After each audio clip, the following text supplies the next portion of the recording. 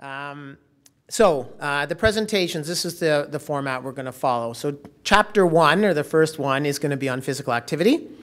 Um, and so the title of that will be a systematic review of the relationships between objectively measured physical activity and health indicators in school-aged children and youth. And that will be brought to you by uh, Dr. Veronica Poitras, who's with the HALO group at the Children's Hospital of Eastern Ontario Research Institute as well. Chapter two will be on sedentary behavior. Uh, the title of that will be a systematic review of sedentary behavior and health indicators in school-aged children and youth, an update. And uh, Dr. Travis uh, Saunders will be doing that on behalf of Dr. Val Carson. Uh, Val's from the University of Alberta, Travis from the University of Prince Edward Island, where he's an assistant uh, professor. And he'll explain at that point why it's an update uh, in comparison to the first talk, which isn't an update per se. Chapter three is on sleep, which uh, hopefully you won't be doing by that point. Um, and it's a systematic review on the relationships between sleep duration and health indicators in school-age children and youth. We can see a bit of a pattern happening here. And that'll be brought to you by Dr. Jean-Philippe Chaput, also from the HALO group in Ottawa and uh, assistant professor of pediatrics uh, there. Chapter four will bring it together try and convince you, if you're not convinced already, that the whole day matters. Um, and so that will be the presentation on the Canadian 24-hour movement guidelines for children and youth and integration of physical activity, sedentary behavior, and sleep. And that will be brought to you by yours truly. And then finally, we'll, uh, we'll chat a little bit about so what. So we've been doing these, you've heard of other guideline releases and, and so on. So even if you're convinced that this is the route to go, uh, so what, what does that mean to you? And so uh, that presentation will be titled The Implications of the New Guidelines for CSEP Certified Professionals. Some talk too probably about how it relates to uh, researchers, and that'll be brought to you by uh, Lori Zehr, who's uh, co-organizing uh, this, uh, this conference from Camosun College and former president of the Canadian Society for Exercise Physiology. Okay, Thanks very much. It's a pleasure to be here to speak to you today about the physical activity systematic review. So we'll just jump right in. Okay, so I don't need to convince all of you that physical activity is important for health promotion and disease prevention. And in this regard, physical activity guidelines in Canada and many other countries around the world recommend that children and youth get at least 60 minutes each day in moderate to vigorous intensity physical activity, or MVPA for short. And while this MVPA is certainly very important, this only accounts for a small proportion of each day, and there's emerging evidence to suggest that all intensities of physical activity may be important for health, including light intensity physical activities like active play or incidental activities of daily living. And this is important because children and youth spend about four to six hours each day in those light intensity physical activities. However, no guidelines include recommendations for light intensity physical activity. And this may be due, at least in part, to the historical focus on MVPA and in part to the use of subjective assessments of physical activity like questionnaires that can't accurately capture light intensity physical activity. And so, in order to inform such recommendations and to better understand the relationships between different intensities of physical activity and health indicators, a scientific evaluation of these relationships is needed. And so, the purpose of this study was to perform a systematic review that examined the relationships between objectively measured physical activity in terms of overall or total activity and by intensity, and relevant health indicators in children and youth aged 5 to 17 years. And second, to examine the association between various patterns of physical activity and health indicators.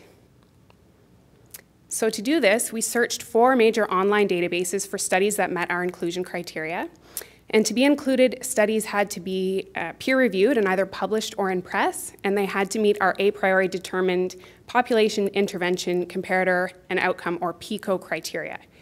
So the population of interest for this review was apparently healthy children and youth with a mean age of 5 to 17 years, where apparently healthy was defined as general populations, including kids with overweight and obesity, but without diagnosed medical conditions. The intervention or exposure of interest was various volumes, durations, frequencies, intensities, and patterns of objectively measured physical activity, so measured by accelerometers and pedometers, for example. And the comparator was the same. There were 11 outcomes of interest, ranging from body composition to self esteem, and these were chosen by expert consensus among a 27 member panel with expertise in movement behaviors. And they were chosen based on the literature and uh, to, with the recognition that it was important to include a range of holistic health indicators, uh, including measures of physical, psychosocial, and cognitive health. All study designs were eligible for inclusion in the review, but for logistic reasons, we did impose minimum sample size requirements based on the study design. And studies had to be in English language or able to be translated, and we excluded gray literature and conference abstracts from the review. The quality of the evidence in the review was assessed using the GRADE framework, and I could easily spend a full 15 minutes talking to all of you about GRADE, um, but I'll just give you a brief overview here so that when we talk about the quality of the evidence in the review, you can see where these ratings come from, and this will be relevant for the next two presentations as well. So according to GRADE, the overall quality of evidence is assessed separately for each health indicator or each outcome, and for each study design for each of those outcomes. And the quality of evidence ranges from high to very low, with four levels of quality. And when we talk about quality of evidence, what we are referring to is the level of confidence in the estimate of the effect. So the higher the quality of the evidence, the more confident we are in the findings, and the lower the quality of evidence, the more likely it is that future work will change our level of confidence in the findings and possibly change the estimate of the effect as well. So according to grade, RCTs start rated as high, and all other study designs start with a rating of low quality evidence. And then from there, the quality of the evidence can be rated down or up based on five criteria. So first, the quality of evidence is rated down if there's a serious risk of bias across studies. And in this review, we use the Cochrane risk of bias tool to assess risk of bias in experimental studies. And in observational studies, we assessed the risk of several types of bias, including detection bias, attrition bias, and performance bias. Quality of evidence is also rated down if there is serious inconsistency, and this is defined as unexplained heterogeneity in the direction of the effect. If there's indirectness, uh, meaning differences in the population, the intervention, or the outcomes in the included studies and those of interest for the review. So, for example, if there are uh, surrogate measures of outcomes instead of direct measures of those outcomes, then that's considered indirectness. And the quality of evidence is rated down if there's imprecision, such as wide confidence intervals that lead to uncertainty about the actual magnitude of the effect. Quality of evidence can also be rated up based on certain conditions.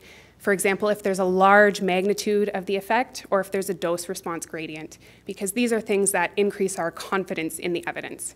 So all of these factors together uh, influence how confident we are in the findings and therefore influence the quality of the evidence.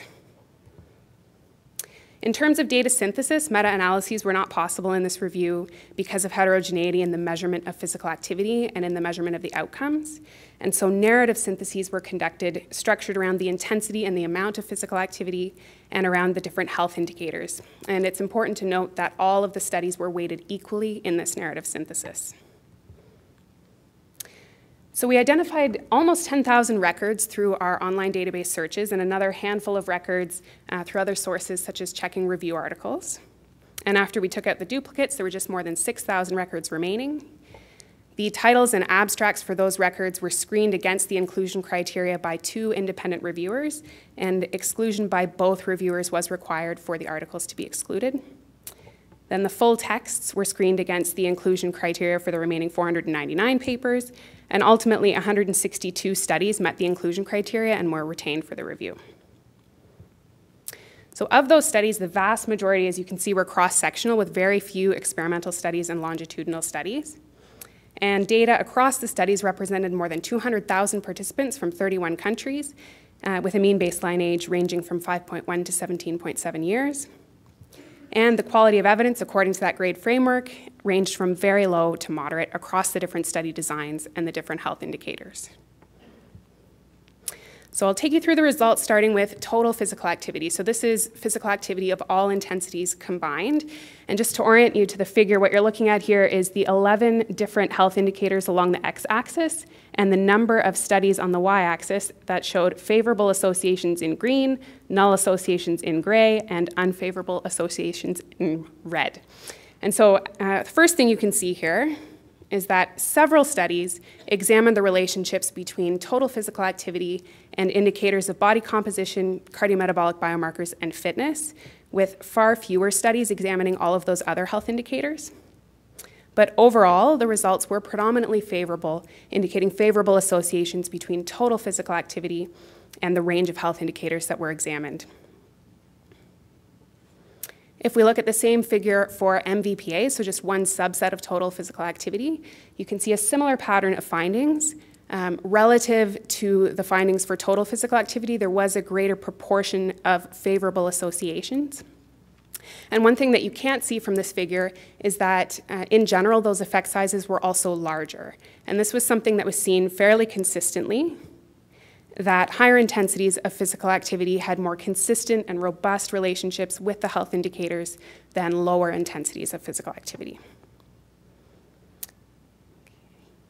If we look at the figure for light intensity activity, this looks substantially different, and there's a couple of things I want to point out to you here. The first is that you can see right away there are far fewer studies that actually looked at light intensity physical activity.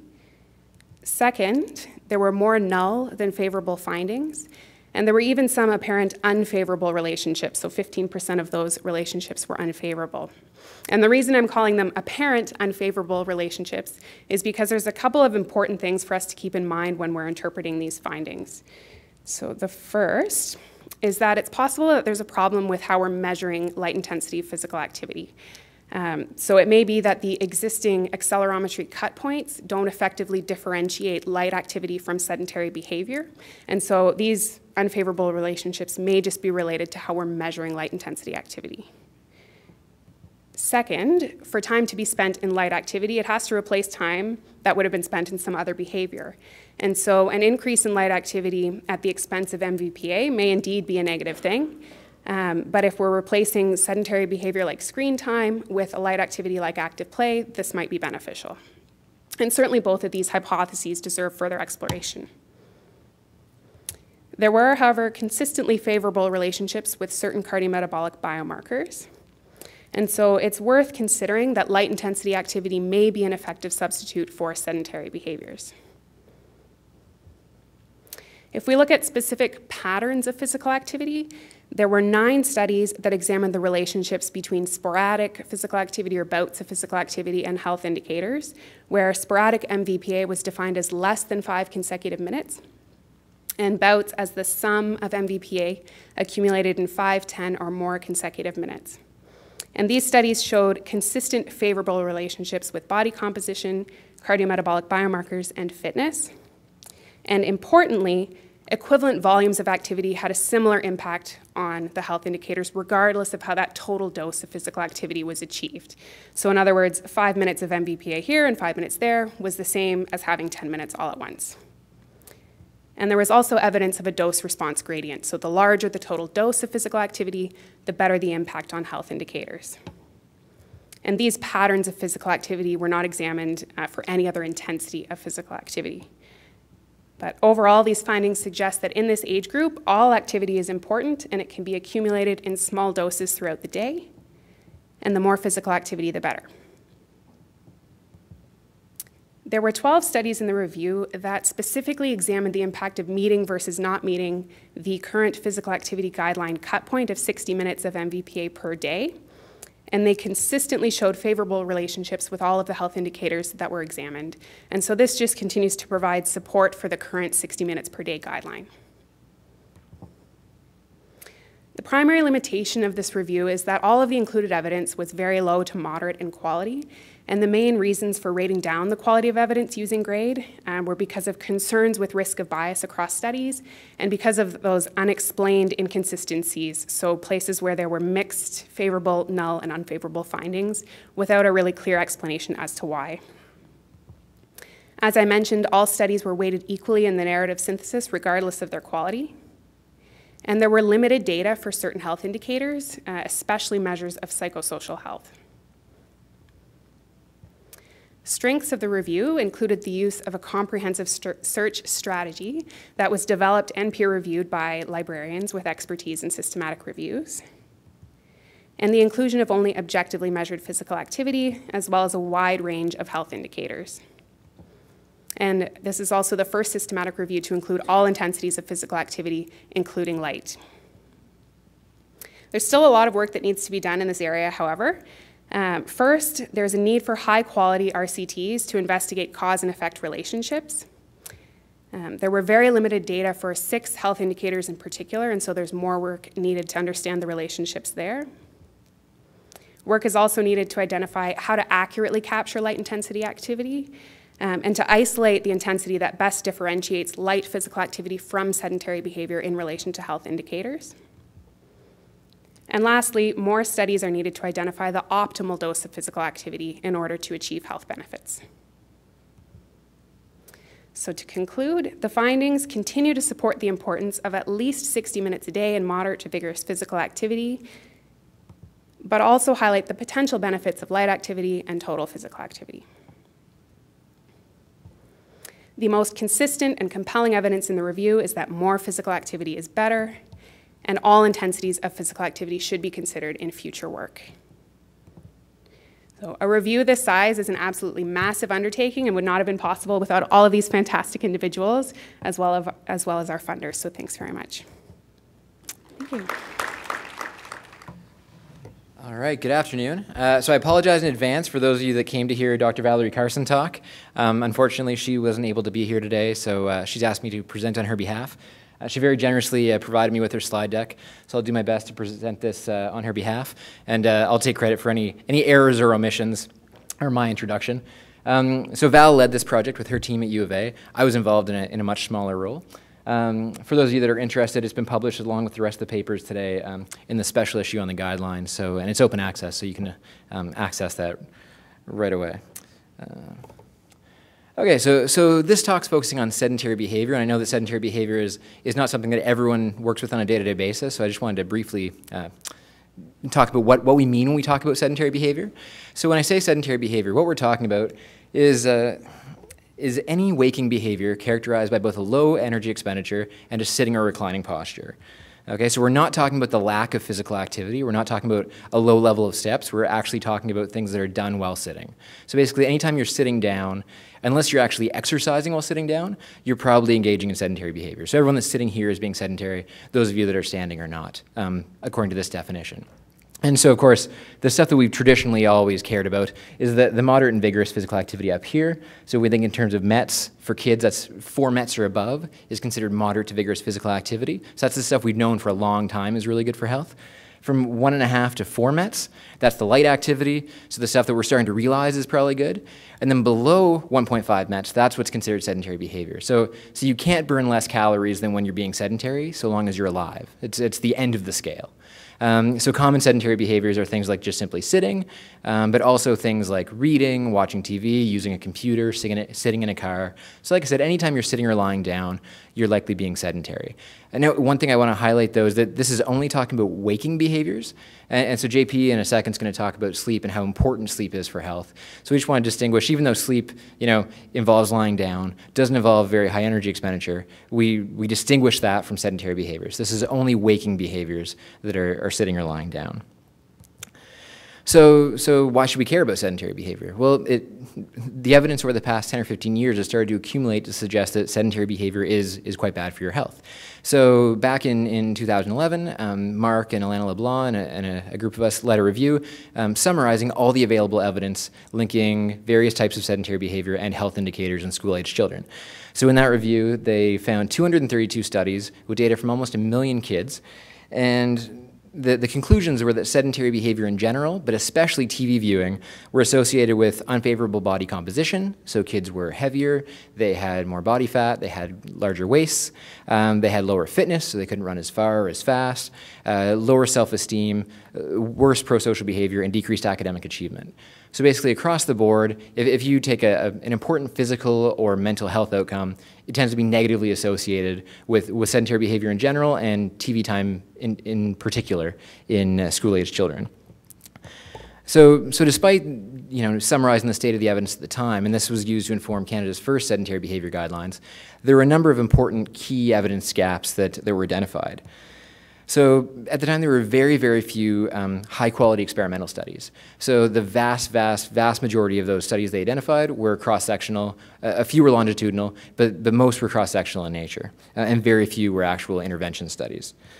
Um, also, the vast majority of studies um, use subjective measures of sedentary behavior. So sedentary behavior, like physical activity, we can measure using an accelerometer, but we can also use, um, use self-report questionnaires or proxy report questionnaires. And the vast majority of that time we're using questionnaires that just simply ask kids or their parents or their physician how much time they spend watching TV or playing computers or sitting. Also, there was basically no, no focus given to, to novel forms of sedentary behavior that are getting a lot more popular. So things like smartphones, tablets, other small screens, texting, um, all those sorts of new screens where kids are spending most of their time, were, there was really no evidence on them at the time. And then the, the last thing was not really an evidence gap so much, but just sort of a, pointing out that we've really only cared about the physical health impact of sedentary behavior for 10 or 15 years. And over that time, the research has really exploded and, evolved quite quickly. And so one of the other key, key conclusions of that review is that the evidence really needs to be reevaluated on a regular basis to make sure that we have evidence-based reviews because the evidence base is just growing so quickly in this field. So that brings me to the, the purpose of the, the present review. So the purpose of this review is to simply update um, the review that was done in 2011 to look at all the new evidence linking sedentary behavior, both, both objective measures like accelerometry and inclinometry, and subjective measures like self-reported screen time or self-reported sitting time with health indicators in school-aged children. And then a, a, secondary purpose was to determine what, what types of sedentary behavior, so TV viewing versus reading versus computer versus sitting, um, the doses of sedentary behavior, so, so the amount of daily sitting or the, the typical bout length of sitting um, that were associated with health in this population. So, so just like uh, Veronica's study, I'm going to go quite quickly through these methods because it's very similar, and so I'm glad that Veronica um, covered this so nicely. So just like her review, this one had a PICO. So the population, once again, was um, apparently healthy school-age children. The intervention was any duration, patterns, or types of sedentary behavior. The comparator was simply different types, duration, patterns of, of sedentary behavior. Um, we didn't require that, that there be an actual control group, so we did include studies that were just a, a simple correlation study or a regression model. Um, they didn't have to actually have a, an explicit control group. And the outcomes, uh, like with Veronica's study, we identified uh, six outcomes. Um, four were deemed to be critical. So these were body composition, um, risk factors for metabolic syndrome and cardiovascular disease, um, academic achievement, and behavioral conduct, pro-social behavior. And then we had two, the, two outcomes that were identified as being important. So those were um, fitness, which could be either aerobic fitness or musculoskeletal fitness, or self-esteem. And I should mention that these outcomes, because it was an update of the earlier review, these, these outcomes were dictated by that earlier review. So we stuck with the same outcomes, so it was truly an update. Otherwise, it, it wouldn't have actually been an update of that review. So, so grade, just for anyone who, who's come in since Veronica went over this, um, we use the grade approach to identify the quality of the evidence. So we did that for each health indicator and also each type of study design. And so once again with grade, um, the quality of evidence can be rated as high, moderate, low, or, or very low. Um, RCT is coming as high, and everything else comes in as, as low. And as she mentioned, uh, data can be upgraded um, based on large effect size or a dose-response relationship, and it can be downgraded for, for bias, inconsistency, indirectness, and imprecision. So um, like with her review, we weren't able to do meta-analyses, just simply there was a, a, a, very large amount of heterogeneity in terms of the way that sedentary behavior was measured, um, in terms of the outcomes that were assessed and the way those outcomes were measured, so we weren't able to do a, a meta-analysis with the data. Um, so instead we did a, a narrative ana analysis, and so we did this separately for each health indicator and also for each type of study design and each type of sedentary behavior. Uh, and then, just like with her paper, all studies were weighted equally. So a very large study wasn't weighted more heavily than a small study. So, so here are the, uh, the, the, search results. So just to highlight a couple things. So the initial search brought in about 13,000 um, titles and abstracts. Um, once they were deduplicated, that came down to about 8,300. Then um, through that title and abstract screening, brought it down to just under a thousand articles that needed to be full text screening. And then after reading all those full text, that brought it down to 235 studies that met all criteria. So I just want to highlight, I, I feel like I can sort of brag about this a little since I was a little more removed than the rest of them, but like Veronica mentioned, this is a tremendous amount of work. I mean, the, the folks at Halo and, and Val's lab at, at U of A, like to, to screen 8,000 abstracts and then do full text screening on 1,000 papers and then extract data from 235, they're just a huge amount of work. So I think they, they deserve a lot of credit because this was a, a, lot of work in a, a, very short period of time. So now we'll go over the, uh, the key results for each health indicator.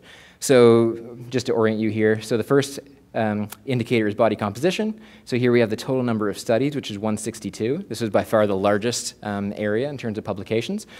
Uh, then we have the, the N, so about 1.5 million um, participants. And remember, this is just in the last five years. So this is only published since 2011. So a huge number of studies here, the vast majority of which were cross-sectional and the quality of the evidence was rated as very low to low. And, and where it was downgraded, that was mostly because of risk of bias, because most people, or a, a large number of studies were using subjective measures of sedentary behavior that weren't validated. So they didn't publish or, or have any sort of information on psychometric properties. Um, but that being said, the, the summary of findings for body composition was that higher screen time, and in particular TV viewing time, were significantly associated with unfavorable me measures of body comp um, across types of study design. So, so generally speaking, screen time and especially TV viewing associated with, with uh, in a negative way with body composition. When we look at uh, risk factors for metabolic syndrome and cardiovascular disease, um, smaller number of studies here, just 31. Once again, the, the majority were cross-sectional. And uh, once again, the data here was very low for the same reason as before, um, mostly self-reported with, with questionnaires that weren't validated. And here what they saw was that TV viewing time was negatively associated with a clustered um, cardiometabolic risk score. So what that means is that basically they, a number of studies looked at individual health risk factors like insulin or glucose or blood pressure, but then quite a few studies also combined those into some sort of metabolic syndrome score or a global risk score. And that global risk score was consistently associated in a negative way with TV viewing time.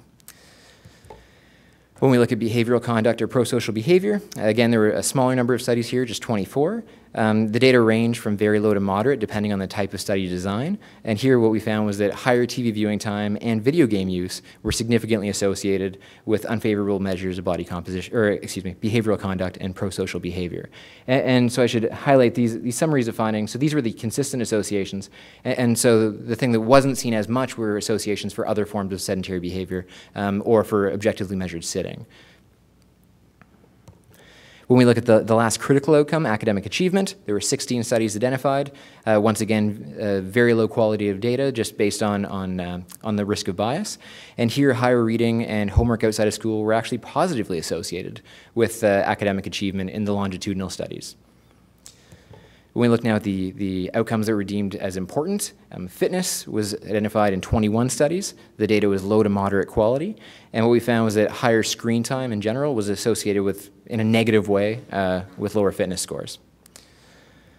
And then finally, self-esteem was identified in 10 cross-sectional studies with about 80,000 participants. Once again, very low quality of data.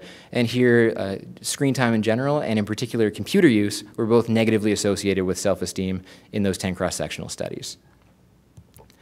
So, so here, one of the other purposes was, was also to look for specific doses of sedentary behavior that were associated with risk.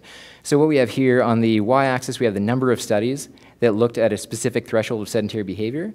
And here on the x-axis, we have those specific thresholds of sedentary behavior.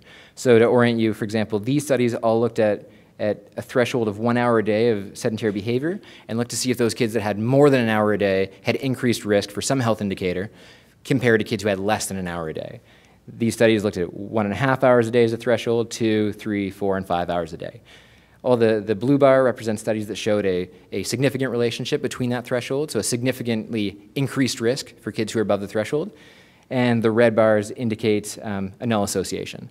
So the, the thing you can see here is that basically regardless of what, what threshold was used, whether it was an hour a day, an hour and a half, all the way up to five hours a day, generally speaking, across all the health indicators, kids who had above that threshold, whatever the threshold was, they tended to have increased health risk compared to the kids that were below the threshold.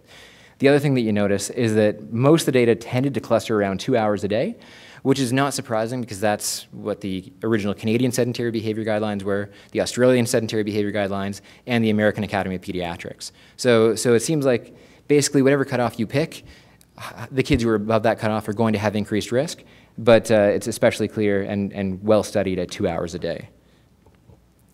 So to look at some, some general conclusions, um, different types of sedentary behaviors seem to have different impacts on health. Um, so depending on which health indicator you're interested in, seems to, to determine which type of sedentary behavior is most important.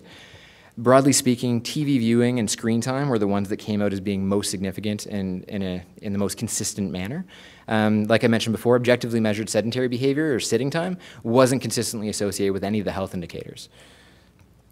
Um, but, but there was sort of a, across the different ways of measuring sedentary behavior, there was this general gradient that, in general, less sedentary behavior is better for kids, and especially screen time. So a, a few key evidence gaps, and I, I, find this, this slide a little bit frustrating because they're, they're essentially the exact same evidence gaps that were identified in the review that Mark and Allana led back in 2011. So once again, the vast majority of studies were cross-sectional um, and used subjective measures of sedentary behavior. Um, so out of the 235 studies that were identified, 200 of those used subjective measures of sedentary behavior and only 35 used objective measures of sedentary behavior. So still very few studies using objective measures of sedentary time. Um, and not only were studies using subjective measures of sedentary behavior, but most of those measures were unvalidated. So we don't know what the psychometric properties are. Um, we don't know if they're reliable. We don't know if they're valid. Um, so it's actually quite impressive that, that, we're seeing such consistent relationships for screen time when you consider that these are not particularly, um, particularly strong questionnaires methodologically.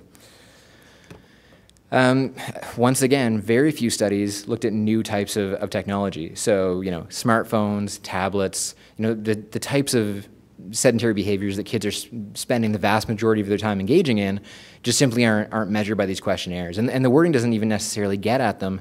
You know, if a kid's watching Netflix or YouTube, do they consider that TV time or do they consider that computer time? And, and so the, it, again, is, it's quite impressive that, that we're seeing these relationships given sort of how crude some of these questionnaires are, given the way that kids are using sedentary behaviors at, at the present moment. Um, and then again, very few studies looked at, at, things like bout length of sedentary behavior, interruptions in sedentary time. So we don't have a good sense of, of how those things impact health. Um, so some, some strengths and limitations that we saw in the data. So as Veronica mentioned with her study, um, you know, this is a very comprehensive peer-reviewed search strategy. Um, it was inclusive of a variety of forms of sedentary behavior, um, both subjective and objective. It was uh, it, it is inclusive in terms of various types of study designs and a, and a large number of health indicators. So, so very comprehensive review. Um, at the same time, because of that being such a broad review, we weren't able to do meta-analyses, um, and we weren't able to include some health indicators like anxiety or depression because they weren't included in the original review that we were updating from 2011. Um, so I'd just like to, to end by uh, acknowledging, again, all the people that were involved in the project. It was a very large group, um, especially uh, Laura, Shanice, and, and Genevieve, who, who helped out with the uh, screening process, and Jessie McGowan, who helped uh, with the peer reviewing of the search strategies, and then obviously to uh, all the groups that helped fund the project. So now um, I'm happy to take any questions, and I should mention if there's anything that, that I can't answer or that, that the other folks that were involved can't answer, um, I'm sure Val will be more than happy to answer any of your questions if you uh, want to send her an email. So thank you very much.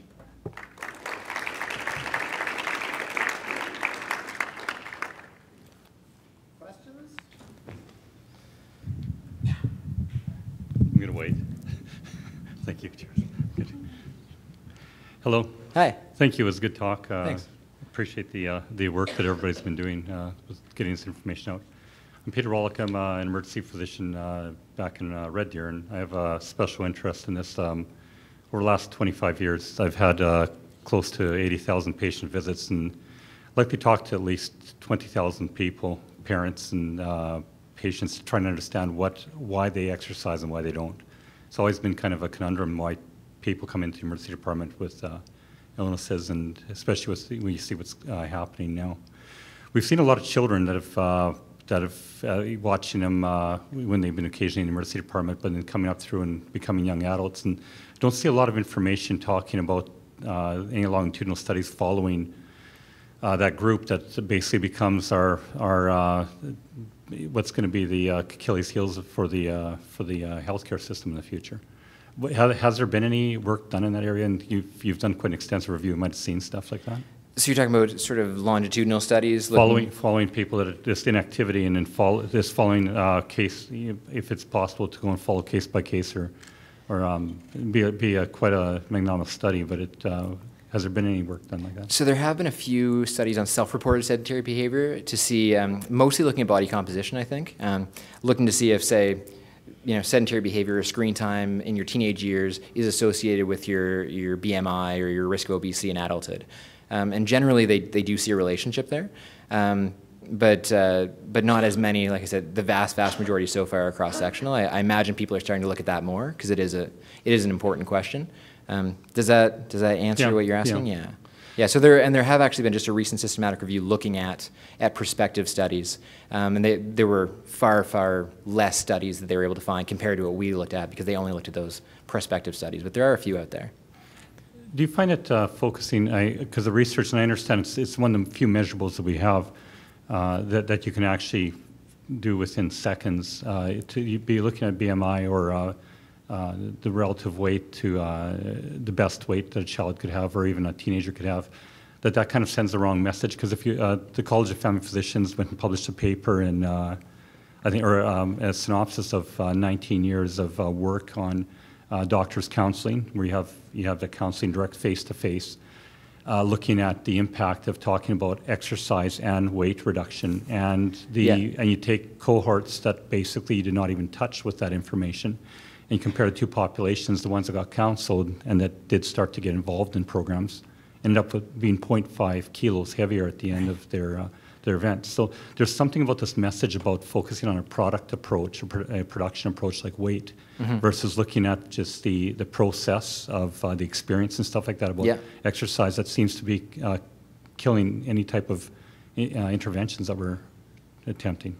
Yeah, no, and I, I agree that a, focusing too much on weight can definitely be a be a, a problematic way to go about it. And I think that's one of the nice things that you know, looking at such a broad range of health indicators that it's not just weight that's associated with screen time. You know, if you're more interested in in, in you know pro-social behavior, academic achievement, or even risk factors for diabetes, there are a lot of a lot of good reasons to reduce your screen time and sedentary behavior. It's not not just about weight necessarily.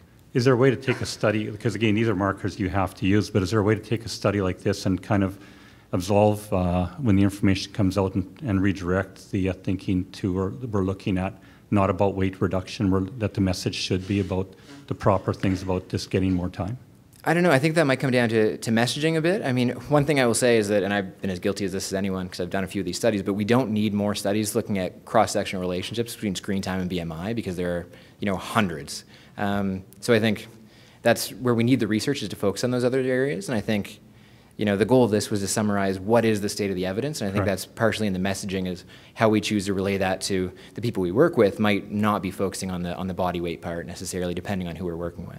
So a couple of comments about this is that looking at a population base that are um, between five years of age where a child's pre-abstract, uh, looking at children are between six and 10 that are basically very dependent on measures that their parents are putting in place, and then looking at young adults that are basically uh, a whole different population, it looks like you're confounding a number of different biases in here by bringing these different populations that really uh, you're you, if you once you hit the teen years you're you're autonomous there's a lot more autonomy.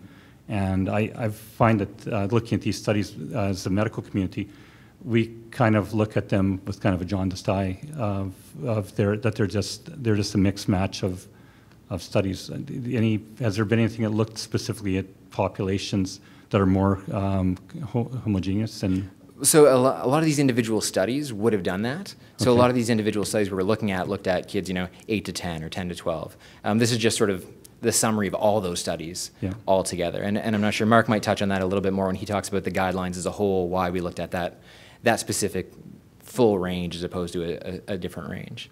Is there, um, I guess the final? Yeah, please. In both uh, the physical activity review presented by Veronica and in the sedentary behavior, we did, we did, um, we did look at age effects. So there are a number of additional sub-analyses that weren't presented here that we did. And so we looked at uh, 6 to 11 year olds and 12 to 17 year olds to see if the evidence base was different, such that we should have different guidelines for elementary school age kids and high school kids just to make something up. And there was no evidence of that. The evidence was uniform across ages. So if the study was on five to six year olds or 16 and 17 year olds, of course, the methodologies are different and, and, and the populations are different, but the findings are uniform.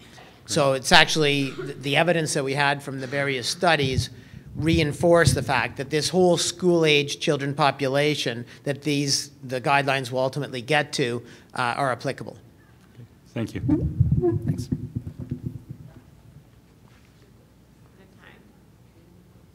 there still time?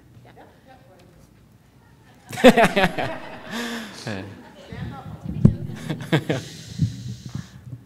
Thanks, Travis. I was live texting Val to tell her that you did a good job. Great, thanks. So, Screen time during the screen time talk. Screen Good. time during screen time. I had my computer out anyway. We don't know if it's bad for you yet, so it's okay. So you had self-report or subjective measures of screen time under the limitations of the study, but given what we know about kind of all of sedentary behavior, so what you'd get from objective measurements like accelerometers versus the negative effects of screen time, often associated with energy intake, that kind of stuff. What do you, like, I just don't know if having subjective measures of screen time is a limitation because how else do we get at the fact that they're watching TV and not reading a book or playing quietly?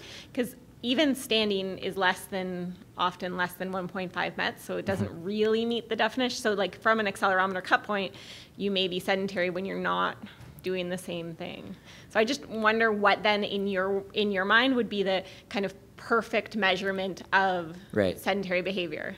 Yeah, and so that's a good question. And I think I should say, you know, I, I, I've swung back a lot over the past five, six years. I used to be very much in the objective side. Now I've swung back because the, the associations are so much stronger for the self-report. Um, and, and so I think they're, they're weaker in pure methodological terms, but the, the associations are much stronger for the self-report. So it's measuring something real, um, whether it's actual, the, their actual amount of screen time or not. Um, and I think the, the, the new thing that, that obviously has some limitations, but is this sort of life logging, you know, where you're wearing a camera on a necklace that actually takes pictures of what you're doing, and you can tie that to inclinometry or, or accelerometry, so you can tell not only that the kid's sitting, but you can tell that they're sitting and reading a book, or, or sitting and, and, and uh, you know, watching TV. And I think short of direct observation, which obviously we, we can't do in a population, I think that's sort of the ideal. Uh, it has some obvious limitations of, of ha- having a kid wear a camera all day, but I think it's, that's the ideal in terms of methodological quality at least. Thanks.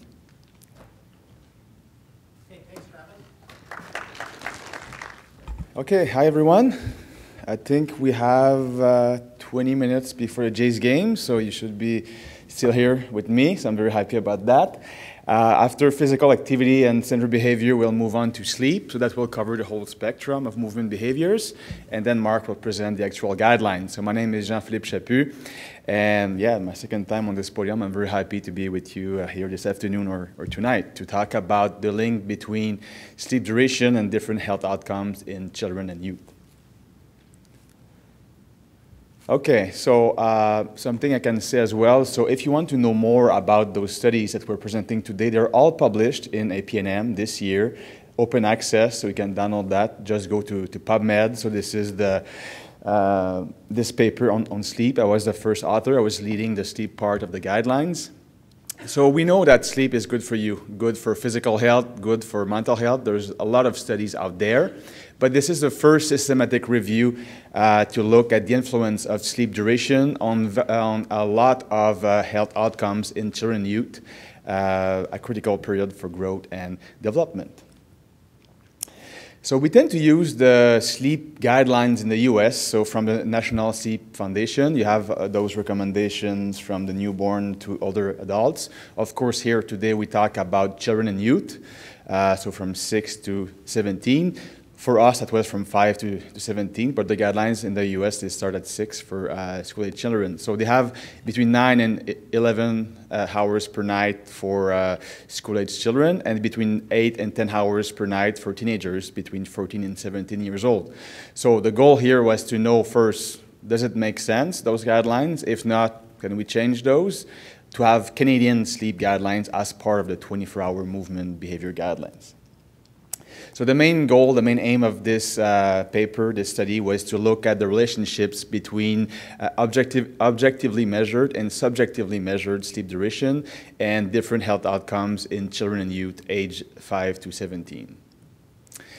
Uh, methods, so the population, same uh, as for the two other papers, so apparently healthy children and youth aged 5 to 17 years old.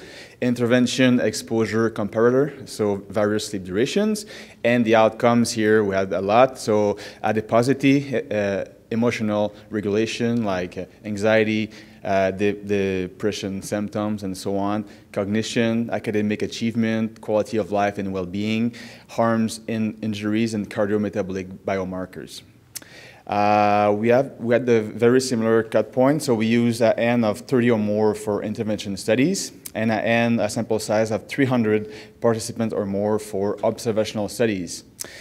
So we had a lot of studies, so we went back for one of those outcomes. The first one, adiposity, so there were lots of studies looking at sleep and adiposity. So we raised the bar from 300 to 1,000 just for this outcome to make sure that we don't include too many studies. We wanted to have the, the best one and make sure that we can manage our uh, review here. So in the end, we included 141 uh, papers in the systematic, system, this uh, systematic review on sleep duration and health outcomes.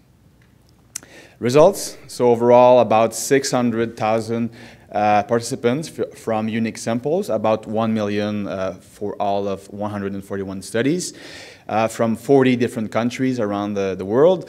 Most of them, 79% were cross-sectional studies, 18% uh, uh, prospective studies, and only 3% were, were ran, ran, randomized studies. 84%, uh, so the vast majority use as subjective measures of sleep, so self-report mainly, and 16% use an objective measure of sleep, and it was mainly with uh, actigraphy. So we call that actigraphy in the field of sleep, so uh, wristwatch, but for the physical activity field, we call that accelerometry. This is the same, same device or, or same thing. Uh, results, I think it's a bit small here. So uh, the first one, Adiposity, we had 71 studies. The quality of evidence ranged from very low to moderate. So most studies, 58, uh, a significant association between short sleep duration and adiposity, and 13 studies reported uh, null findings, and no studies uh, showed the opposite.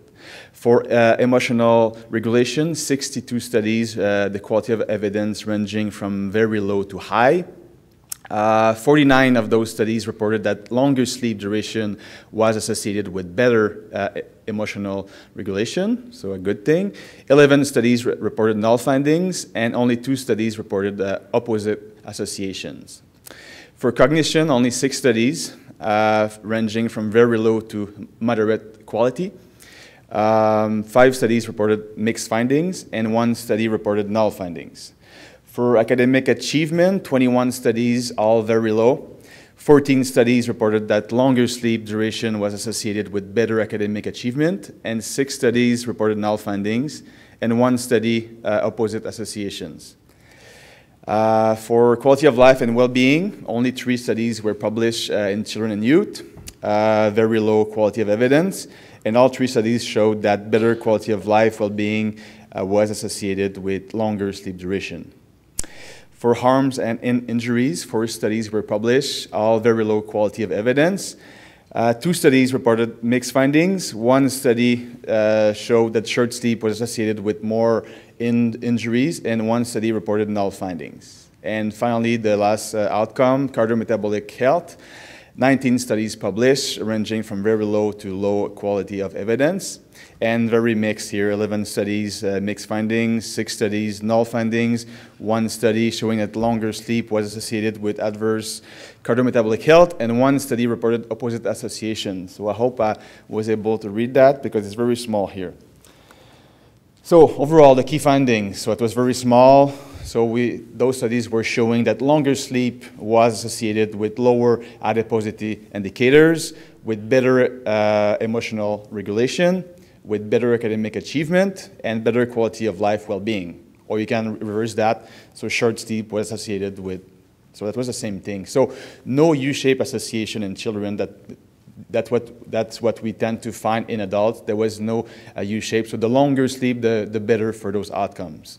There was mixed or limited evidence for cognition, for harms and in injuries, and for cardio cardiometabolic health. And the quality of, of evidence ranged from very low to high across study designs and health indicators for the sleep systematic review.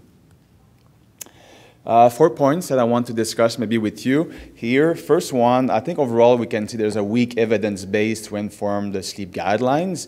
Uh, it relies heavily on cross-sectional studies with self-reported sleep. So I think we still need expert opinion to come up with what is uh, the good dose or the good recommendation for sleep. Uh, we know that sleep needs vary between people, so it's never one size fits all. Our sleep needs are mainly explained by our genes, uh, so it doesn't mean that it will be the same recommendation for everyone. Uh, there's also the thing with the range versus a threshold value for sleep duration. So the National Sleep Foundation in the US, they use uh, a, a, range for sleep duration. So between this and that should be good for physical health and mental health. But uh, just uh, two months ago, the American Academy of, of, Sleep Medicine in the US, they came up with their own uh, sleep recommendations and they use a threshold value. So for example, for kids, they say nine hours or more. There is no maximum of 11 hours. So that will fit with what we find here because it seems that the longer is the, the, the, the, better. But I think there are pros and cons with that as well. I think for me, long sleep is a marker of uh, poor sleep most of the time. Uh, so I think it might not be bad to have a, a range. So both options can be good, I think. Uh, and also we have to keep in mind, and that's part of the guidelines too, so this is only sleep duration here, but many other aspects of sleep are important, so also sleep quality, sleep timing, so bedtime, wake up time, uh, con consistency, and so that, that means day, day to day, so we know that we see a lot of, cat, of uh, catch-up sleep on, the, on, on weekends for, for teenagers, and of course we don't want, you don't want to wake up all the time during the, the night, so you won't have one bout of sleep uh, during your, your night, so there's many aspects of your, of your sleep that are important beyond just uh, the amount or sleep duration. Uh, so conclusion, so three take-home messages from this paper on sleep and uh, health outcomes. So I think we confirm uh, uh, previous studies showing that shorter sleep duration is linked with adverse physical and mental health outcomes in children and youth. Uh, however, the, avail the, available evidence relies heavily on cross-sectional studies uh, using self-reported sleep duration. So we need more uh, robust designs in the, future, in the future with more objective measures of sleep to assess also quality, not just duration. And I think in the future, to better inform sleep guidelines, we will need uh, more sleep restriction extension studies uh, that examine changes in different outcomes against various amounts of sleep to have a better sense of those response relationships. So, for example, uh, that, that can be different between people, but also different between outcomes. So maybe the range between 9 and 11 hours of sleep can, be, can fit for some outcomes, but not others. So we don't really know that. So I think the approach that we took, so uh, we cannot really change the sleep guidelines because the evidence is not that strong to go against what has, what has been done in the US. So, and Mark will present also the, the 24-hour guidelines, but I think we, uh, decided to keep the 9, 11 hours and the 8 to 10 hours. But the only small difference is we start at 5 years old because in Canada, uh, most school age kids, uh, kids, the school start at 5 years old. In the US, it's 6. That's the only small difference. But we, uh, we stick with the US sleep recommendation as well for the 24 hour guidelines. So thank you very much. That was, uh, that's it for my part. And now we'll uh, continue with Mark. And uh, I'm available for questions as well.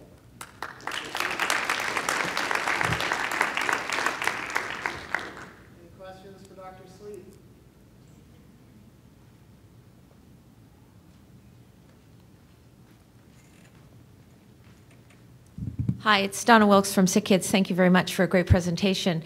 I think your point about um, uh, having more variables looking at quality and timing of sleep is well taken. For example, so what if um, it's, it's said that your evidence looked at, you know, longer duration seemed to support some of your hypotheses, but what if kids are sleeping longer because they're waking up in the middle of the night and therefore they, they wake up for a certain period and then they have to sleep longer. So um, I think the point is well taken that there needs to be other uh, variables collected in, in, in the sleep um, domain um, before you can uh, say for sure what is exactly going on. Yeah, I fully agree. And also, there's many when we think about uh, children and, teenagers, I think parents have a role to play as well when we think about uh, school start times. So we don't really change that, even though I would like to postpone a bit for teenagers because it doesn't fit their, their hormones. They, yeah. they, they are supposed to go to bed a bit later and wake up later. Uh, but I think the only way we can have a, a, good night's sleep is to go to bed early. Otherwise, they have to wake up early. And there are many things we can also talk about the, the screens in the bedroom that can impact sleep quality the, and everything. Yeah, so those sleep. sleep tips. So uh, yes, we need to go beyond duration and include other characteristics of sleep. Yeah. Thank you. Thank you.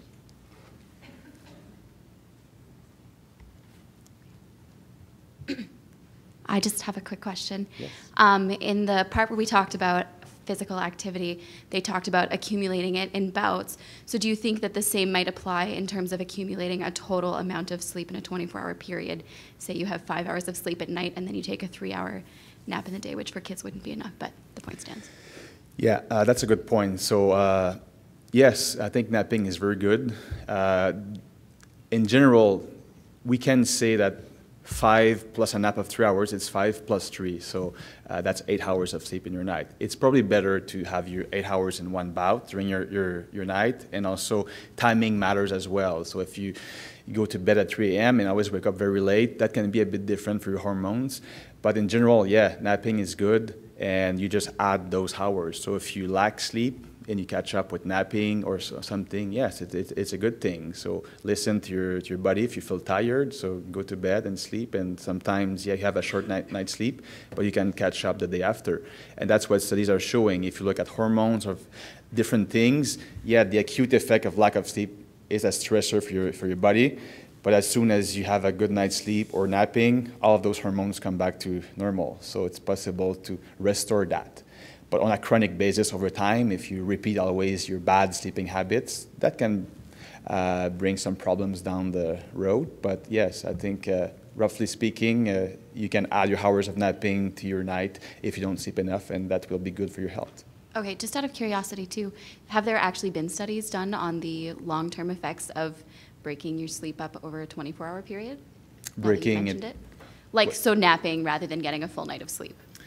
Yes, yeah, yeah, there are, oh, yeah, okay. there are studies showing that, yeah, so napping is good uh, over time, yeah, yeah. But chronically, it's best to get it all in one chunk? Yes. Awesome, thank you. Better in one chunk. Hi, uh, Yvonne, kinesiologist. Um, so you said that sleeping too long can be um, poor quality of sleep. So what are some of the things that can affect children's quality of sleep and what, like, what should you look out for? Yeah. So this is coming from, because I had like tonsils and adenoids removed when I was young, and now I see family members maybe having some issues. So um, those and, and some of the other factors for poor quality of sleep. Yeah, yeah. There are many things that can affect sleep quality, and those factors uh, will be different between people. So it's important to address the root causes of the problem on a case by case basis. I think, yeah, it can be due to screen time, it can be due, if it's a sleep problem, so that's a different game. But when I think what we tend to see in the modern way of, of, of living is that we sleep less for quality of life and pleasure. So we just cut, we decide to restrict sleep duration uh, and then that can impact sleep quality. But in general, yeah, it can be uh, the blue light coming from uh, our screens. It can be noise in the in the room. It can be uh, that chaos in the in the house. It can be you, you, you sleep with uh, someone else. Uh, someone is, is snoring beside you. Your room is, is not dark. your mattress is not comfy, and so on. There's many factors that can impact sleep quality, and I think we need to address all of those factors to make sure that, yeah, when you go to bed, you feel tired. So that means that you're active during the, the day, you're physically tired when you go to bed. The best pill to have a, a good sleep quality is to be active uh, every day. And most people in Canada, so we know 9% of kids meet the physical activity guidelines. So there's this inactivity epidemic. And I'm sure that because of that, that impacts sleep quality. And it can become a vicious uh, circle. How's everyone doing? Good? All right. We're on the home stretch here. Um, so now I'm going to talk about the 24-hour guidelines, a little bit of background about uh, why we went this route, uh, some of the methodology for actually uh, forming the guidelines, which might be uh, of interest to some people, and then ultimately what the guidelines are and a little bit of uh, looking ahead. So they're, they're called the Canadian 24-Hour Movement Guidelines for Children and Youth, an integration of physical activity, sedentary behavior, and sleep. And so just a couple things about the title themselves. We spent a lot of time on the title, um, and we are aware of the fact that sleep to most of you is not a movement behavior, that sedentary behavior to most of you is not a movement behavior, but they're non-movement behaviors right? They're an absence. So if you think of movement on a continuum, they all fit there. Um, and uh, in the absence of any better word, that's what we've gone with. Um, the order of things in the second half of the title, an integration of physical activity, sedentary behavior, and sleep, was done deliberately that way to reflect the fact that it's a Canadian Society for Exercise Physiology initiative. We're the physical activity experts. We're not the sleep experts. But we're beginning to understand that how we sleep affects our physical activity, and we'll talk a little bit about that. And uh, these guidelines were released publicly on June 16th of, uh, of this past year. And I'll talk about the figure here and walk you through it and what some of the meanings of it is uh, towards the end of the presentation. So just a, a, little bit of background and rationale. Um, we've got these three components, physical activity, sedentary behavior, and sleep. We know from the previous three presentations that these are related to health, all kinds of health outcomes, some stronger than others, but almost always uh, a uniform direction. Or in some cases, lots of null hypotheses, but very rarely do studies show the opposite direction. So, uh, you know, it gives us quite a bit of confidence that there's something good happening there from a public health messaging perspective. We also know they're related to each other. JP just said that the best recipe to have a good night's sleep is to be physically active during the day. The best recipe to not be physically active the next day is have a poor night's sleep. Okay? And, and so on and so forth, all these different uh, combinations of things. So just as an example, we know that regular physical activity is a good thing. We saw that from uh, Veronica's presentation. It's associated with all kinds of positive health outcomes in all age groups. But if, uh, if we spend a lot of time sedentary when we're not being physically active, the benefit, the size of the check mark there, is much smaller. This is our typical lifestyle. This is my lifestyle. Pretty good at getting my regular run in each day. Also pretty good at sitting the rest of the, the day. Um, and so there, the evidence, the totality of the evidence suggests that that's not nearly as good as if I did my run, but didn't sit most of the rest of the day. And you can imagine the different combinations with sleep there as well.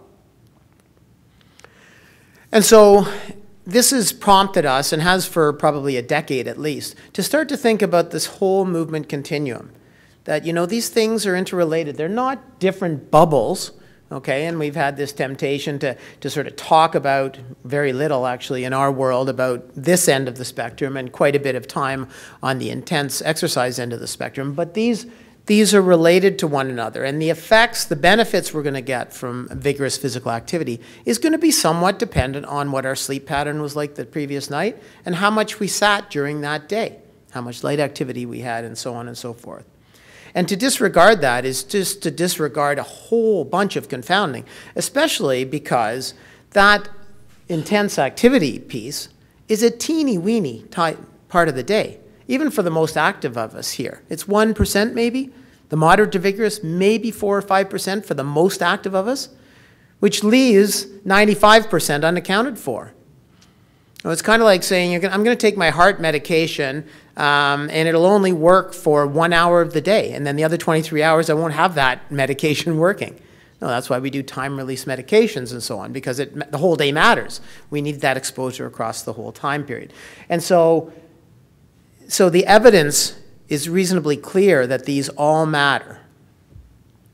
So, so how did we go about doing this? Uh, I mean, it, it did take probably about eight years to get people on board to go with this integrated type of approach, to, to, to buy into it. Once we did that, then we followed um, a recipe, really, that uh, Bill Haskell and I wrote for uh, a chapter in this book, Physical Activity and Health, a, a couple years ago, uh, which maps out here's the robust way to develop guidelines of this nature and walks through all of the, uh, the systematic review and, and so on. I won't go through all that with you, um, but to say that we followed a very robust, transparent process. And it took two years. You can't see this, but the top there says October 2014, and the bottom is October 2016 here today. Uh, that's what the last box is, is this symposium presentation. So about two years of um, intensive work um, to, to get these guidelines developed. Of course, time ahead of that uh, to try and find funding to make this happen, which just for your curiosity, um, these take, they cost about a million dollars roughly, closer to 1.2 for this one, but uh, the, the other one we're doing now, we're a little bit better at it. It's around a million dollars uh, to do all of the background work, to have the experts come together, to prepare a launch and media strategy, and uh, develop um, nice artwork and so on and so forth. So just FYI, it's not, it's not a small undertaking. And it began with, after a leadership committee was formed of the various funders, uh, which I talked about in my introductory slides, um, we assembled a guideline consensus panel of 27 members. My very last slide of the presentation, I'll, I'll uh, acknowledge them again and the different people and different expertise that we bring together for that. That group then helps to inform what we're going to do. What are the variables that we need to study? Um, uh, what are the outcomes of interest? What types of studies should be included? How should we uh, limit things? What should the inclusion, exclusion criteria be, and so on? Those are all done a priori before we go out and start this stuff, done uh, by consensus by the group.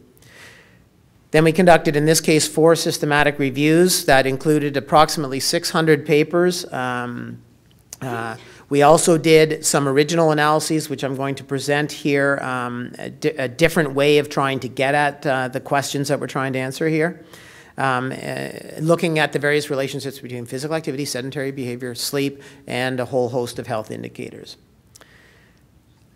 After we'd done that and we'd done these compositional analyses that I'll talk about, then we draft the guidelines. We, the consensus panel, the 27 people. We sit around and we wordsmith for three days. It's really fun. Um, but we were in Montebello, so if people are familiar with that, it, it is kind of fun. um, and so, so anyways, we draft guidelines, and then we went out to you. Uh, many of you, I'm sure, answered our, our surveys. And we said, okay, here are our draft guidelines. What do you think of them? This is the title. What do you think of it? This is the preamble. What do you think of it? These are the guidelines. What do you think of them? Are they clear? Uh, do you agree with them? We also, um, we also had focus groups um, in English and in French um, uh, that fed into that. And then we finalized the guidelines based on the feedback from the stakeholders, uh, from the, uh, the focus groups, um, and then we translated and back translated so we were sure that we had uh, the, the guidelines available in English and in French. So that's kind of tip to tail the way the process goes. Uh, and going forward, of course, we need to implement and activate them. So the evidence from the systematic reviews, I'm not uh, going to go through. You just you just heard all that, but we did that in totality. And there was a fourth one that didn't fit into this uh, symposium because there would have been too many presentations. The fourth one down there, we did a systematic review of papers that looked at combinations, any combination of the three behaviors: physical activity, sedentary behavior, and sleep. Could have looked at all three of them. Could have looked at any pair of them. So that was a separate systematic review. That review was actually led by, by Travis Saunders. And I just want to show you, because it, it wasn't there, but just in, in one or two slides. And so when we looked for those things, and some are out there, there were 14 studies, around 40,000 participants from 20 countries. Quality of evidence was low, fairly consistent with the others, which is telling you, you know, they're, uh, they're not randomized studies. Key findings, that if you had this clustering of high levels of physical activity, high levels of sleep, and low sedentary behavior, so that the good combination of three things. It's more, it was associated with more desirable uh, adiposity, cardiometabolic uh, health indicators when compared to three bad combinations. Okay? So moving well, sitting a little bit, um, and sleeping well is better than, than the antithesis of that. Some only looked at a couple of the variables, so high physical activity and high sleep, or high physical activity and low sedentary behavior was associated with favorable health outcomes compared to low physical activity and, and low sleep or low physical activity and high sedentary behavior. Most of this is probably intuitive, but, but the, the uh, available published literature is supportive of that. So in summary, the optimal health benefits may be achieved by replacing sedentary behavior with moderate to vigorous physical activity. That was the strongest thing. And it comes out in all the systematic reviews. It's going to come out in the compositional analysis that I'll show you. If you're going to trade off, trade up to MVPA and trade it at the expense of sedentary behavior. So I mentioned the compositional analysis. So this was a, an, an, original study that we did to help inform the physical activity guidelines uh, or the, the 24-hour movement guidelines, sorry. Uh, I'll probably make that mistake again. Uh, they're 24-hour movement guidelines, not physical activity guidelines anymore. Um, and so what this compositional analysis allows us to do is take um, existing, in this case, cross-sectional evidence and play with the different compositions to see how that may be associated with different health outcomes. So it actually allows us to get at some of the evidence that we frankly didn't find in the systematic reviews. And this is published as part of the, the supplement as well, open access, um, and the first study of its kind um, in the world. So movement behaviors have traditionally been assessed in isolation. You've been hearing about that, but um, they actually affect one another because the constituent parts along this continuum sum to a whole. It's 24 hours. That's all there is. You can't stretch it to 25 as the CIHR deadline looms. We wish we could, but you can't. It's still just 24 hours. Um, and so if I am going to increase my MVPA, it has to be at the expense of something else, which means those variables are codependent. They're not independent. Okay, they're codependent. And so I could increase my MVPA at the expense of sedentary behavior, which I've already told you is probably, and your intuition tells you that's probably the best thing. But I could do it also at the expense of light activity, or I could do it at the expense of sleep. And which of those I choose influences the likelihood of the, the association with a health outcome.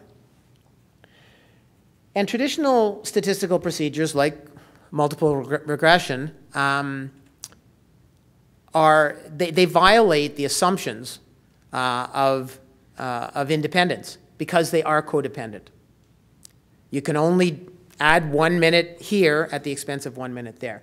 And so those traditional analyses, which almost everything that's published and all of the, the papers in, in Travis's review, um, they're fundamentally flawed analyses. It doesn't mean their findings were not the same as you would get if you did it correctly, but they're fundamentally flawed and they're geometrically incorrect. Um, and compositional analyses allows us to get at this, uh, which is a, it's a complicated uh, mathematical thing. It's been around for a long time, just hasn't been used in health research very much. And so we were, uh, we were applying it here. And what it does, it takes various, it, and it analyzes the proportions. Because if I add a percent of my 24-hour period over here, it's at the expense of somewhere else. So, so you can play with the different cocktails of combinations of sleep, sedentary behavior, light activity, MVPA, carve it whatever way you want. And then you can shuffle things around a little bit, okay, using, uh, using ratios of time as opposed to the actual empirical value. So, um, so the purpose uh, was to examine the relationships among movement behaviors, sleep, sedentary time, and physical activity, and health indicators similar to, to the others. We used the Canadian Health Measures Survey from Statistics Canada, our direct health measures survey in Canada. We had a sample size of around uh, 4,000 of kids in this age category. We used cycles one to three of the CHMS and merged them.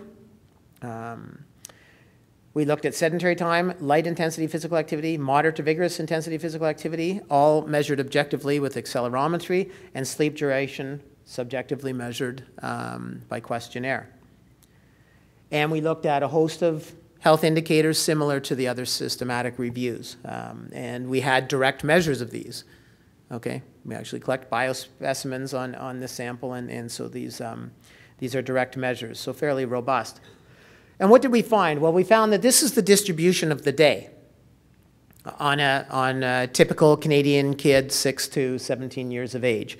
Um, so uh, roughly the same amount of time sleeping and sedentary, a chunk of time where we're not doing MVPA, but we're not being sedentary, so that's that, that vague light activity kind of chunk of the pie, but it's rather substantial piece.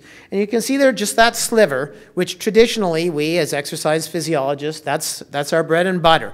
That's what we're focusing on. And in fact, we focused on it so much that we've disregarded all the rest of the pie, which hopefully seems obvious to you that, that that's a fundamental flaw in what we've been doing and in the way we've been counseling individuals and so on, because the whole day matters, and hopefully I can convince you of that. So the key findings, the composition, the composition, the totality, the, the cocktail of movement behaviors was significantly associated with all of those health behaviors statistically significantly associated with every one of those health indicators. So the composition matters. The cocktail of behaviors, the amount I sit, sleep, stand, walk, run, matters. Not just how much I run, not just how much I sleep, the cocktail matters. The portion of variance ranged a lot, uh, depending on the particular indicator, from very little to a rather substantial amount.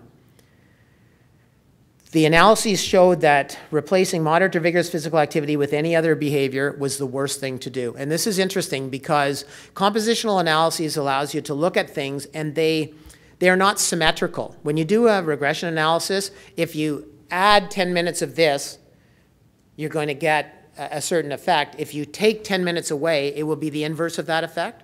It's not the same with compositional analyses.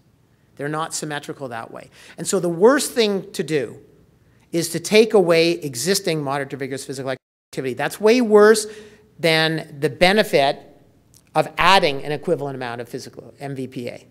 So the maintenance of our existing healthy behaviors, at least in terms of exercise, is more important, that's what our analyses showed, um, than adding new stuff. Adding new stuff is really good as well, uh, but the, the effect is not as large. So the findings highlight the importance of moderate to vigorous physical activity. It's certainly the most powerful dose but it also supports the importance of time spent in the other movement behaviors, that, that we, can, we get additional benefit if we have good behaviors in that other 95, 96% of the day. So MVPA is certainly the most potent dose, but the other parts matter as well. So going back to the second slide where I showed the smaller check mark that, you know, if I'm getting my exercise, that's good.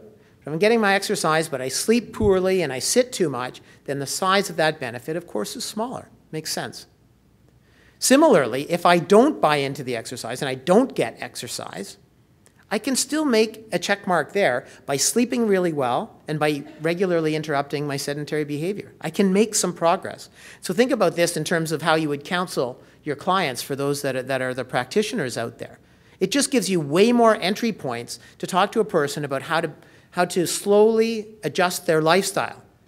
In some cases, even as an exercise physiologist, the best advice you can give to someone is to leave their cell phone in the kitchen so they get a good night's sleep. Then they wake up a little more refreshed. Then at your next session, you're going to you know, try and convince them to, to get that exercise that you've been trying for for years, but they never do because they wake up uh, fatigued already because they didn't have a good night's sleep. Okay, so um, in terms of uh, timelines, uh, this was the timeline for the systematic reviews and compositional analyses. They were all published uh, in open access, as everyone said. They went through uh, full um, peer review. Um, and the compositional analyses is also published in APNM, thanks to uh, Terry Graham and the staff at APNM for working with us on fairly tight timelines um, on some of these things. So after we had that and we crafted the guidelines, uh, we did um, a stakeholder consultation. We had 590 people respond to our survey, stakeholders, some in the audience here. There's a bit of a distribution across the country. Uh, many people provided comments in addition to the, you know, do you agree, strongly agree, and so on and so forth. We also had people from 20 countries so this was done through a snowball uh, sort of thing. So we sent it out to you. You might have sent it to your friends and, and so on. And so we had people from around the world respond. They told us that the information in the guidelines was clearly stated, very, very high proportion, um, and that it was that they agreed with the message that what we were saying they agreed with. And so, so this was great external validity of the work that we did, which was anchored in the evidence. So, so it, it was approaching what the truth was, but it's reassuring to know that the stakeholders agree with that. Then we held focus groups um, uh, with youth, with parents, with teachers, with pediatricians, and with exercise professionals. Perhaps some of you in the, in the audience here were, were part of those. And we wanted to discuss, are these acceptable? When we were doing the uh, sedentary behavior guidelines a number of years ago, um, we had public health professionals um, there and, eh, as sort of users. And as Travis said in, in his presentation, the evidence is pretty clear. No recreational screen time is the best option. I mean, it's pretty clear uh, across a lot of studies. No screen time, recreational screen time, is the best option for kids. And the public health professionals told us, well, that, that may be very well and good, but I can't go to parents and say your kids should never watch TV and, and these sorts of things. It's just not viable. And so uh, it's the same, and, and we learned from that process and we adjusted uh, things somewhat uh, accordingly. But anyways, we wanted to assess that perceived acceptability. What are the barriers to implementing these sorts of messages? And what are the preferred methods and messengers for this information? How can we best get it to people and who will they believe? Who will they be influenced by? So we ended up with 104 participants that participated in either 20 uh, focus groups or eight interviews with one or two people. They were done in across the country in Toronto, Hamilton, Ottawa, Vancouver, Hamilton at CSEP, was that last year or two years ago in Hamilton? And they were done in English and French. So we did the best we could to try and get a sample of people from across the country. Uh, they were audio taped, uh, transcribed verbatim, and, and all the qualitative uh, folks did their magic to, um, to find out what, what it told us. Um, and the results were very similar to the 590 people that responded to the survey. Um, we had consistent support across uh, all of the different groups that we interviewed, except youth. Youth told us they don't care. Um, and if you have youth, you, you know they don't care. Um, uh, and, and so it, it, it, didn't matter what the guidelines said. They said, you know, they, they wouldn't pay attention to it anyways. Um, so that's reassuring that kids across the country are the same as my kids. Uh, the potential barriers to uptake um, were accurately defining key terms. So, so certain sticky points uh, terms like recreational screen time, which I've been using here. What does that mean? And, and uh, we've tried to define all those. The glossary is there on the CSEP website. Uh, financial and time constraints, um, always an issue that comes up with people. Well, I can't, I can't do whatever one of the components uh, uh, because of certain constraints. Um, there was a there was a sense that uh, these would make parents feel guilty, which isn't the intent, of course. The intent is to advise you on what a healthy day should look like. Uh, they recommended dissemination through schools and medical settings, um, which is in large part what we're focusing on going forward. Um, overall, participants were receptive to the new guidelines and endorsed, uh, endorsed them basically. Uh, additional details are published also in the, uh, the open access supplement that, um, that is there. Um, and revisions were made then to the draft guidelines based on all of these focus groups and on the, the feedback from the um, stakeholder survey. Um, and, and, you know, um, while of course staying true to the underlying evidence, if people said, well, I don't agree with this, it should be something else, well, we wouldn't, we wouldn't adjust them accordingly if that's not what the underlying science uh, said. So this is where the art comes in. You try and reformulate sentences and words and so on so that it addresses the confusions that might have been there while staying true to the underlying evidence. And then we enter the knowledge translation phase, uh, the development of a visual identity. That's what this is called, a visual identity. Um, and related public-facing tools and resources. And so um, this work was done. This was an extra an extra $150,000 that we got kind of at the last minute from the Public Health Agency of Canada to sort of have a route there that we could put out when we release these first guidelines because there will be a, a series of these guidelines come out for all the age groups in Canada. And they were released in conjunction with the 2016 ParticipACTION Report Card on Physical Activity for Children and Youth, which hopefully you've picked up from the ParticipACTION table. And so we use that very effective uh, information dissemination mechanism uh, to release the guidelines. Uh, and they very cleverly uh, included this as their cover story, Are Canadian Kids Too Tired to Move? So are we too tired to move? Or we don't move enough to make ourselves tired? And, and which way does this go? And it got the dialogue going in that regard. And the final official Canadian guidelines look like this. There's lots oh, of rich is... information on this slide, so I will take you through it here. How can I silence that? That's Veronica talking. Um, I thought I turned all those off. well, maybe this will, I can just stand and watch this. That'll work, won't it? So we're going to go and, and, and, and walk through the guidelines, and then I'll, I'll talk a little bit more about it. Uh, and, and I will end at the, the last slide will tell you that much of this and an extended presentation is available on a webinar at the CSEP website where you can hear the whole thing from, uh, from Veronica. But that'll work, won't it? You can just talk through that? Yeah. Let's listen to Veronica. And the final official Canadian guidelines look like this. There's lots of rich information on this slide, so I will take you through it here. First, at the top, it states that for optimal health benefits, children and youth aged 5 to 17 years should achieve high levels of physical activity, low levels of sedentary behavior, and sufficient sleep each day. This is a general box. summary statement, and more specific information for each of these behaviors is provided in the visual representation and the accompanying text. As you can see, the visual representation of the guidelines is an outline of the number 4, divided into four segments to represent the four behaviors on the movement continuum, and the size of each segment is roughly proportional to the amount of recommended time spent in that behavior each day.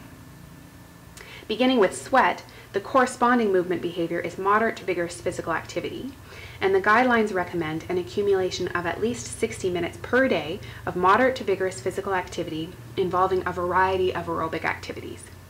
Vigorous physical activities and muscle and bone strengthening activities should each be incorporated at least three days per week.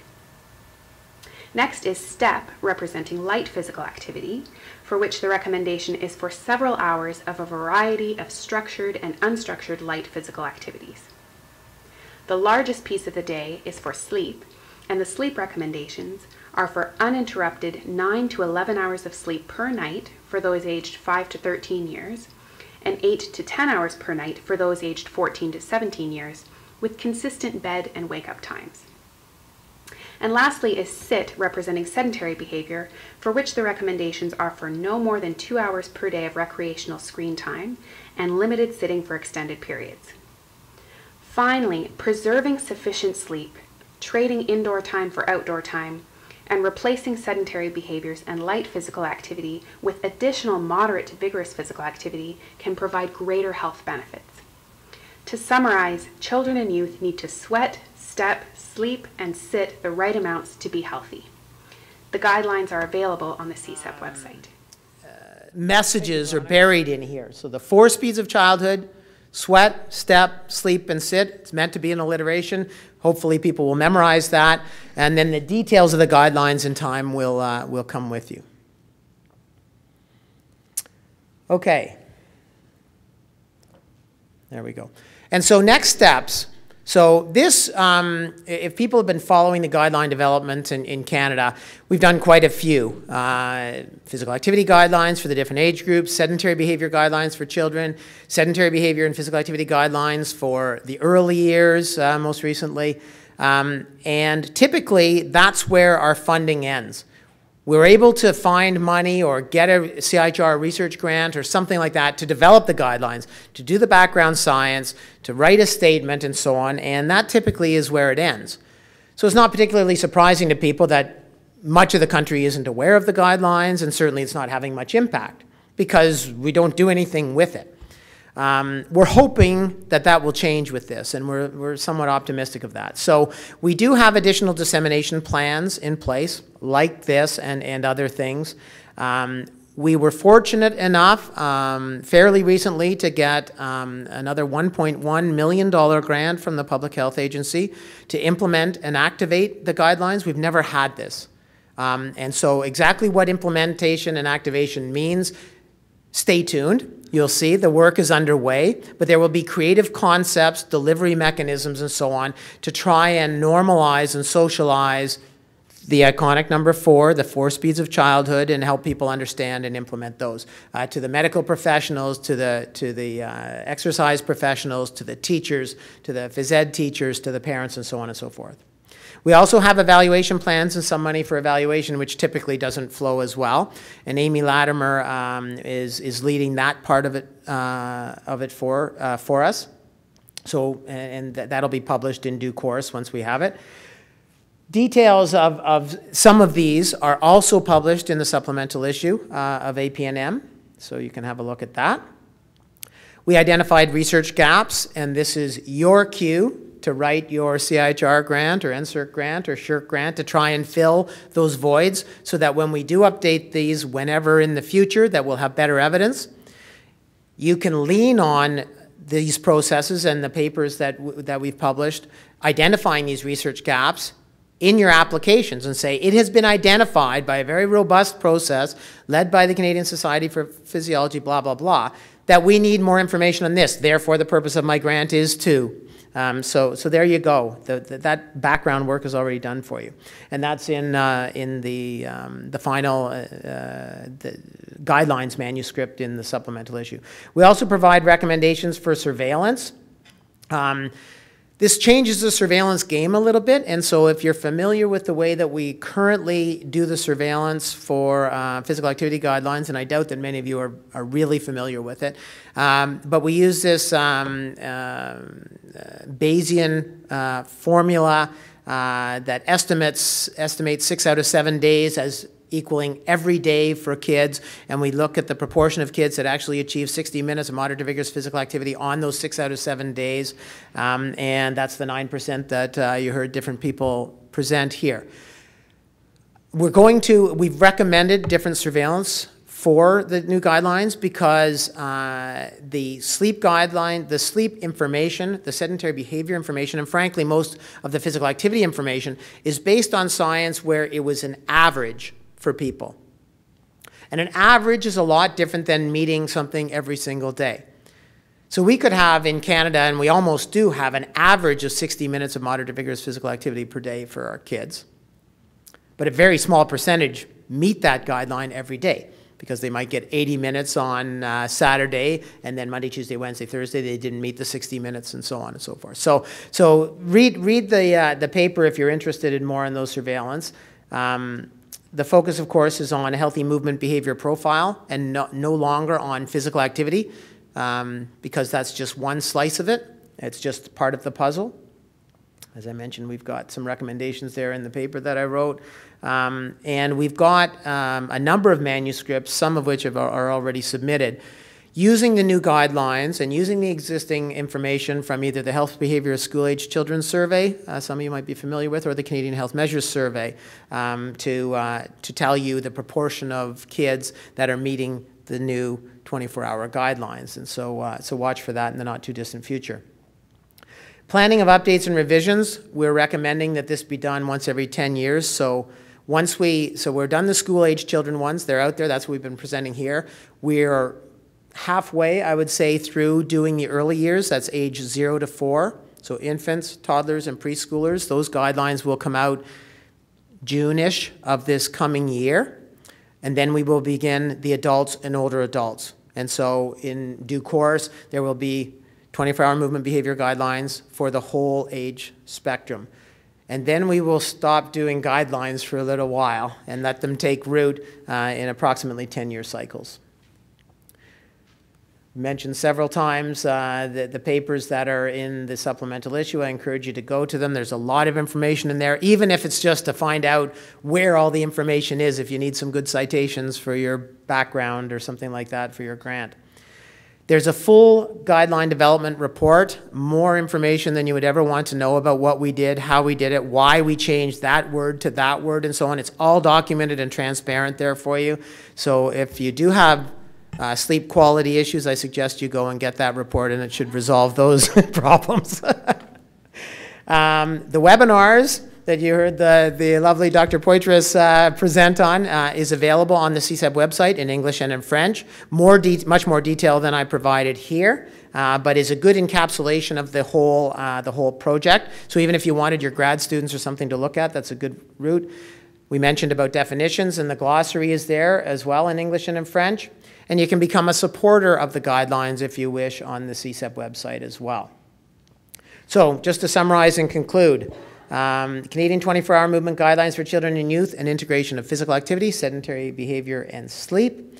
Um, have been developed and released, the first ones in the world, being watched very closely by countries around the world and by the World Health Organization, who I'm, I'm reasonably confident will go this route as well. And they show that the whole day matters, as if our intuition didn't already tell us that, but, but I think we provide very strong evidence of that. And children and youth need to sweat, step, sleep, and sit in the right amounts, not just sweat. Next steps include dissemination, implementation, activation, evaluation, future research, of course, uh, and hopefully you can help us with that, ongoing surveillance and monitoring, and um, updating and revising guidelines in due course, well down the road. And it's hoped that these guidelines will open avenues for population health promotion and instigate new research on the health effects of integrated movement behaviors. I think it really has the opportunity to redirect our field. And if you start including um, these other measures in your, in your, uh, your work, you're going to find that what you thought were truths before are only partial truths. And you'll start to find that the, that the combination of things, which will differ between individuals, really matters. And so here's the guideline development team. I know you can't read this, but it's to show you that we had a, a, number of research experts. And these are not just exercise physiologists because it's not just about sweat. There are people that come from the sleep research world, from sedentary behavior research world, um, from evaluations of these, the, these worlds, measurement uh, experts, and so on. We had a number of stakeholder groups that are not traditional partners for the Canadian Society for Exercise Physiology. Um, and so just looking down the names, you know, the Conference Board of Canada, ParticipACTION, of course, is a natural one, but the um, Canadian Pediatric Society. We had a mom and a daughter that, that were nobody except a mom and a daughter as part of the guideline development team to help advisors about what, what they think of these things, what, what will make them change. Um, uh, the Sea Change group was part of it, the Canadian Sleep Society, and of course, uh, CSEP. We had international collaborators from the US, Britain, and Australia that were there as well. Um, and we had five methodological consultants, people that are experts, uh, PhDs in, in the various GRADE and, and uh, guideline development world. And of course, we had funding and partnership from five organizations without which uh, this absolutely never would have happened. And thanks to Veronica for, for uh, speaking on one of the slides at least and helping develop most of them. All right, good evening, and thanks to those of you who are still sticking around. I meant to ask Mark, did you see any waves or any up downs? Is there a score? Is there a score? Nobody knows the score? Okay. Okay, zero, zero. Perfect. Um, so uh, Mark has already shown you um, the uh, reference to the paper that I'm going to speak to a little bit, so I'm going to just provide some highlights out of our paper, but again, you can go to this open access um, paper and get a little more detail on what I'm going to present today If I can get it to work. All right. Um, so the outline, I'm going to talk to you a little bit about just understanding the message and what we've heard in the last hour and a half to make sure that we're clear on what the differences are, what the new messaging is, and what are the key points that we want to try and address. I'm going to try and tell you a little bit about the information and resources that are available out there for certified professionals and going to talk about our roles as well as implications in our day-to-day work, and then talk about the intermediaries, the collaborators, and the partnerships that we want to look at, not just the current ones that you already work with, but maybe some unique new ones that you can spend some time working with to address the whole day concept as well. So understanding the messaging, um, for most of you, you would know then through the last uh, 45 minutes or the original, sorry, the introductory um, time period was that these are based on evidence. And so it's really important that we do sort of lean on that information to say that this is coming from an evidence-based approach, that there is a paradigm shift, that there is new information and a new paradigm to consider in the way of a whole day um, and how it is important to consider that across the 24 hour cycle. Uh, we've heard clearly that all the activities are necessary, but it's really about how we distribute that time throughout that 24 hour period. And it is the combination or the integration or the balance of those movement behaviors that is important with respect to health. And we've heard a little bit about sort of the combinations and what adds to your health, what takes away from your health. And so that information is also available there. Um, when we look at that, I did highlight the light intensity because that is something new for us when we talk about total physical activity. Most of the physical activity guidelines in the early years was around moderate to vigorous activity. We always say more is better, but we didn't have a lot of research that would sort of um, have us bring that home. And so now we're really talking about the importance of that light physical activity as well. Um, we've got the focus on replacement of excessive sedentary activities and the different types of sedentary activities as well. So hopefully that message is coming clear as well. And then we've heard about the sleep patterns, um, you know, the consistent go to bed time, the consistent wake up times, the duration as well. And so we can talk to that in our strategies as well. So it's been a few years since we had the physical activity guidelines for children and youth, and then the physical activity and sedentary behaviors for children and youth. And now this is an opportunity for us to renew, refresh, repackage information, and make sure that we go forward on the whole day concept. Um, in the past, we've had lots of media attention with regards to our guidelines release, and we continue to see that ever since we released these ones in particular in June. We continue to see large uh, uptake from the media, and we'll continue to do so as we go into the early years and the older adults, adults, and on our 10 year uh, proposed cycle as well. Um, one of the things that we do want to talk about is with the visual identity and some of the messaging that we're going to talk about is that, you know, some of the frameworks out there about how you disseminate messages and how do people remember them is really important that we focus on a consolidated single message about movement and that movement continuum. It does facilitate greater remembrance of that message. And so some of these things that we've talked about around the visual identity is there to, to make sure that people do recall really easily. Um, and it creates opportunities for us to leverage one movement behavior um, to another. Um, in the past, when we focus on just one, now we're going to be able to talk about if you do this, it will affect this behavior as well. So it gives us that messaging opportunity. The implications for the, full, the whole day, we've heard from others as well, some examples of how this can broaden our scope of interventions. So going beyond just physical activity and some aspects of sedentary behavior, but talking about all those other components as well. It gives us greater possibilities for being inclusive across the movement continuum and more, more feasibility when we talk about a 24 hour cycle as well.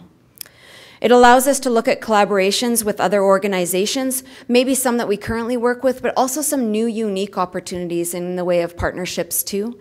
We can share information, tools, strategies, tips, um, with our partners and look at sort of funding collaborations as well. So um, most of you will know we're more successful in going after grants and funding opportunities when we have broad partnerships, and this gives us that opportunity. And finally, from a framework of an interdisciplinary practice approach, whether it be in healthcare, public health, um, in the school system, et cetera, that when we bring our synergies together from a multidisciplinary perspective and do it integratedly across interdisciplinary frameworks, that we do see greater positive outcomes overall for the center, which would be children and youth in this particular case. So for those of you who aren't familiar um, with what is available for you as, as practitioners and professionals, um, from CSEP's perspective, there's been plenty of e-news communication that goes out with regards to the, the launch of the guidelines and information um, that is available um, in, in electronic form.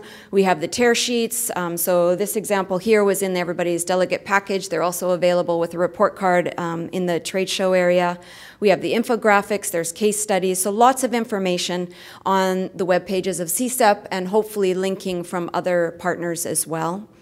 We have social media materials that is available. Um, Mark alluded to the workshops and the webinars that are available as well. So if you want to get more information and have the material available and disseminate um, that, that is available for you. Um, we started out with physical activity questionnaires. We've moved to the physical activity and sedentary behavior questionnaire, and we're looking at sort of more areas of questionnaires to incorporate all the movement behaviors. And there will be addendums that will go with the CPATH material and a lot of the different resources we use in um, our training process for certified individuals as well. So as certified professionals, we have a number of different roles. Uh, we are the end user um, of this whole process. And so, you know, it's been great in the last 10 years to be involved and have um, a piece of the pie from the perspective of the certified professional um, and including this in our scope of practice. The one thing that I do want to recognize, of course, is that those individuals who are certified personal trainers don't have the ability to work with children and youth in their scope of practice, but they certainly do have access to the intermediaries, either in their parents parents or family practitioners who work with children and youth, or maybe people working in rec centers or whatever it may be. Um, so there are other avenues for the certified personal trainers to absolutely be involved in disseminating this message and putting it to practice. For the CEPs, it is part of the scope of practice, so we have lots of strategies that we can work with there. Um, so our role is to assist in the dissemination, whether it's indirectly for the CPTs or directly for the CEPs, and trying to activate these guidelines. And as Mark said, and I'm going to talk in a little bit about, you know, we got some funding, hopefully, fingers crossed, coming our way in making that happen in 2017. Um, so our job is to practice the guidelines, put them into place, advise about healthy lifestyles, and across that movement continuum. Uh, we also have a role to play in influencing the intermediaries who service our children and youth um, and activate those guidelines through their programs and services. So, you know, we need to reach out um, and, and access some new partners and, and get them involved in the process as well. So what can we do? Well, as uh, professionals, we should be knowledgeable, be well aware of the background behind the guidelines, and make sure that we're aware and we can respond to questions about the information. But we really do need to move um, beyond just disseminating them and being aware of them. We need to look at tools, strategies, and ways to actually activate them. Uh, so it's important that we obtain information, we share that information. That's one step, obviously, through professional development, educational development, um, but also thinking about who can we influence. So it's not just about us educating ourselves, but who else can we educate? How do we influence them? And what are the strategies to do that? So uh, also as a professional, you want to make sure that whatever tools and strategies and tips that you have at your fingertips, that you're going to add this new information, you're going to maybe change or create new tools so that you can use that in your day-to-day -day practice, and provide that information to the partners that you work with as well so they can incorporate it into their own tips, tools, and resources. And it's really interesting to see um, when you're working with um, different people to try and create the messaging around really getting thinking out of the box and creating new things. Um, you know, the definition of insanity if you keep doing the same thing, you're going to get the same result or don't expect something different. So if we keep just doing the same kind of dissemination plans that we've been doing for the last 10 years, we're not going to see any greater uptake. So we need to get outside, think outside the box, and, and see some greater change. So we talked about, uh, Mark alluded to, we've got some dissemination funding coming, so we'll see that in 2017. That'll help us activate the guidelines a little bit more. We've talked about the visual identity, which is great from a, a recall perspective and a talking, a storyboard to be able to pass the message on. Um, you know, looking at the novel approaches will have greater impact, but we also recognize as well that that will take time and resources in order to do that. Um, really important that you do seek those collaborations and work with other people, that interdisciplinary approach that will have that synergistic effect and have greater outcomes as well. And when we do that collaboration, we can look at minimizing any duplication. So let's share our information, our tools and resources so that we are not all doing the same thing. So it's really important that we um, engage not just different disciplines, but also the different sectors, and that we create tools that we can all use that are easily accessible, adaptable, targeted, and clear. So from a day-to-day -day perspective, the, the primary role that a lot of us play is that we educate the general public on what guidelines are and what those healthy behaviors are and how they incorporate them throughout their day. Um, and for many of us, we're already providing education on more than just physical activity, but you know, it, it's a greater invitation for everybody else also to continue to look at that whole movement spectrum. Um, so talking about how can you look at the day and, and distributing that time for sure. It is a holistic approach to health and wellness. Um, so when we've in the past talked about movements from the perspective of doing an assessment or prescription or goal setting, where maybe there's been a heavy focus on physical activity, now we can start to doing some assessments on sedentary behavior. We can do assessments on sleep patterns and duration. We can talk about goal setting in that area and prescription in that area as well. When we talk about that 24-hour clock and we look at that pie and talk to people about how to move different pieces or make certain pieces of the pie larger by replacing different areas. So I think it's important not just to disseminate it, but also practice the guidelines ourselves and getting other people to make sure that they're activating them. So some of the current partners we maybe want to look at, as well as new partners that we can consider as well. Um, a couple of the other uh, speakers also alluded to some of these partners, Exercise is Medicine Canada and our allied health partners.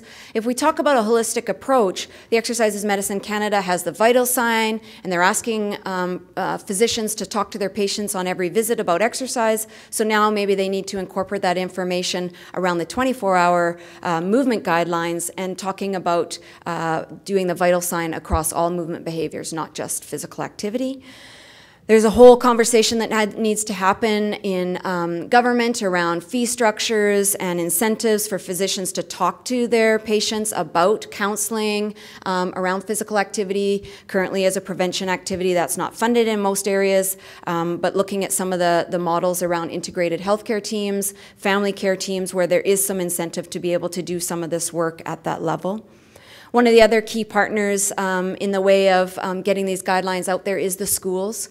And we've done a really good job of looking at getting it into the curriculum from a physical activity perspective and now the sedentary behavior aspect as well. But we're talking about more than just that. It's not just the PE curriculum, it's not just foods, it's not just health. It's also looking at that pie and sort of an example of what Mark shared with the compositional analysis, where we could use this in a subject matter such as in the math class, where they can talk with the students about if you were to shift this much light activity into sedentary, what does that do? Use it as a math example and a word problem. So I think it's really important that we start to talk about getting these into sort of all the curriculum that's seen in the schools also throughout the day. And we've had a huge movement around um, physical activity and sedentary behavior and thinking about that throughout the day in the school systems. But now we can also add that into talking about the start times. And, and JP mentioned the fact that, you know, is starting at 7 a.m., 8 a.m., 8.30, whatever, the best thing for a teenagers when they're going to school? Are they going to be active and, and energetic and be able to think first thing in the morning? So we need to start talking about what are the best times to incorporate and start school, when does school end? Um, and and the, with the physical activity pieces, we've already discussed for the last number of years, is it's not just during PE, it's not during just during recess. We're going to incorporate that throughout the day. It's small energy bursts throughout the day, breaking up the sedentary sitting times, looking at other strategies around um, how do you incorporate more standing time and light activity in the school day. Okay. So we're really looking at the whole environment approach, and there's lots of different um, healthy schools kind of activities that are out there that incorporate this and have a comprehensive approach to address all the movement behaviors. We're going to have to look at sort of reinventing the wheel around um, train the trainer kind of information when we talk to teachers about giving them the professional development so that we can provide them with the education around the guidelines as well. And so, you know, as certified professionals that are connected already to the school systems, you can start to take this information out to them right now. Get involved in the local professional development days, get involved in conferences, and start spreading this information. Some of the other partners as well, um, again, we've been dealing with some of these partners in the physical activity, sedentary behavior world for a while now, but now we need to start sort of talking about that continuum of movement activities. So after school programs, art and recreation programs, the different youth organizations that are going to be addressing and dealing with um, programming for children and youth, we need to start sharing the messages about reducing the sedentary time, banning screens during these programming, increasing light activity during the down periods, and talking about those sleep friendly schedules of doing this programming when it's prime time for them and not interfering with their sleep patterns. So again, another sector that we're um, pretty familiar with, which is national and provincial sport organizations. How do we influence coaches and leaders who are dealing with um, children and youth in their uh, sector and again, around sleep friendly schedules, I know many of you in the room often complain with me at the wine and cheese about, you know, the 6 a.m. hockey practice, the 10 p.m., whatever it may be um, at the Arts Center. And so we need to really consider in working with these people about having these programs be at a time that is appropriate that now is going to start to consider sleep time for the children and youth as well. Likewise, in practice planning, um, we know from physical education and even practices for that perspective that they aren't, children and youth are not active all the time. So, how do we get them to do some of the light activity when they're sort of waiting for their turn to do the drill or their turn to take the shot or whatever it may be? So, you know, really working with the coaches and the leaders to keep the movement activity going and reducing the amount of, of waiting time and sedentary time. For many of us, it's sort of looking at other organizations and how do we work with them. And if you do look at the papers and if you look at the information on the CSEP website, there is process paper um, information in there about all the organizations that were involved in the development of the 24 hour movement guidelines uh, for the children and youth. And there's some new partners in that group that we really need to engage and get them involved. Um, so I've listed a couple of them there that, you know, some of them we're familiar with and some of them are new for us, but we definitely need to sort of look at that holistic approach, the 24 hour cycle and the whole day. So making sure that they also update their websites. So that's something that we often stumble across is that we launch new guidelines, but then we go and look at a public health uh, website somewhere else and they still have the guidelines from five years ago. They haven't updated their information. So making sure that we catch these and that we educate people that they need to update their own web pages. For a lot of these organizations in this category, it's their policies, their practices, and their procedures that needed to be updated so that they can reference the right information and get that information out in their own policies. Mark spoke to surveillance, um, and so uh, addressing the issue around making sure that we have the right measurement techniques, techniques and tools that will address all the movement behaviors. So we need to start doing that. And similarly, all presenters have spoken to the research gaps. And so as certified professionals, um, you know, we can provide lots of information that will make sure that um, some of these organizations that we work with will start to address all the movement behaviors across a 24-hour cycle in some of their research agendas. So the last thing I would say is, um, as I'm trying to wrap up quickly so you can get going for your Friday night, is that um, as professionals, it's really important that you're prepared, prepared for an opportunity. Um, a lot of the information that we try and get out and people that we talk to, sometimes we only get two, three minutes, very short sound bites that we have an opportunity to say something to somebody who's important, somebody who can influence something. So it's really important that you as a professional, that you can, can try and condense the message down into a couple of minutes, into a paragraph, so that when you do that have the opportunity, that you can provide the right information to the right person. So make sure you know what is new, what is important, and what's the main takeaway. So you'll hear it, you've heard it lots over the last couple of days about the whole day, and it matters. It's about the different activities and how you distribute them. Um, so that will be the continuous message that you want to try and get out there. And the last piece that I'll just say as practitioners is that there is this two-way process between practice and research. So as we go out and we try and practice these guidelines, it's important as you as professionals that you also receive feedback from your clients, from your partners, your collaborators, all the intermediaries that you work with, that you're hearing information about what's working, what's not working. Because a lot of time the practice that we do and the feedback when we say it's not working for us anymore will actually drive the research. It will help drive the cycle of revision and revamping. And so there is this two-way process that research guides what we will do with practice, but our practice will help guide the research agenda, and that's really important. And that's the end for me. I'm not sure if there's any time.